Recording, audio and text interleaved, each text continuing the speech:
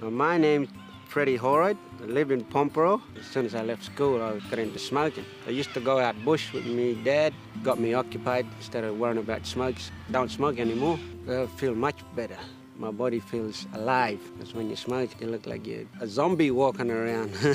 There's people there to help you quit if you want to quit. Don't smoke, cost too much. That's about it. That's all I can say.